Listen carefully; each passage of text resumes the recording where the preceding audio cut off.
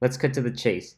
I'm not a tech guy or anything. I'm just a video editor that's exposing this very big issue on the 2016 MacBook Pro, and I would like for there to be a recall because I spent uh, about I don't know $3,500 on this machine.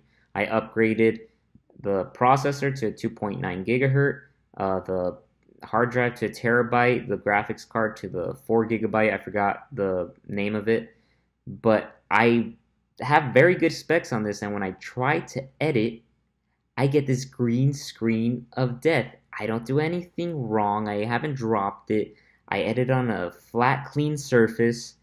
Um, it's pretty chilly in here, actually. That's why I'm wearing a sweater.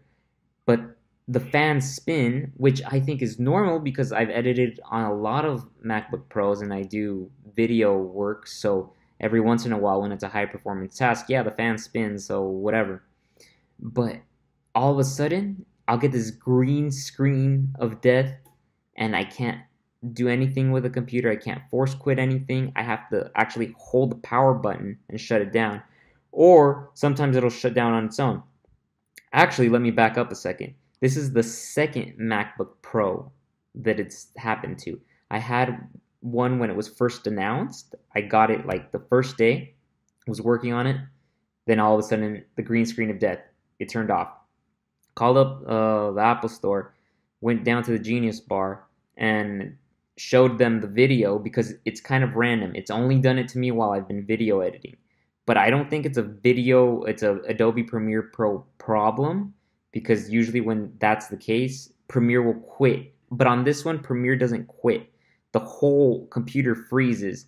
It gives me that green flickering screen and either it will turn off on its own or I will have to hold the power button down and turn it off on my own anyway, uh, they were like, okay, we've never seen this before, so uh, it's gonna take a long time to solve, especially on these new ones. So here's a brand new one. And the second MacBook Pro that I got did the exact same thing. I got it on Wednesday. That's when ex- I exchanged it. Today's Saturday. It's been three days. And once again, I was editing on Premiere. Everything fine. I took very good care of this one because of the issues with the last one. I was like, I'm going to make sure that I treat this one very well and I'm just editing here on my dining room table, and all of a sudden, green screen of death. I lose all my work that I was spending hours on.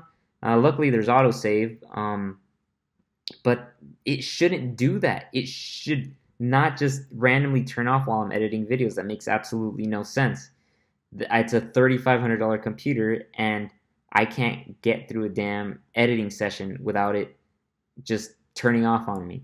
So I really think this is a design flaw. I'm gonna call this the death screen because it's a throwback to the death grip uh, when uh, Steve Jobs told us all that we were holding our phones wrong.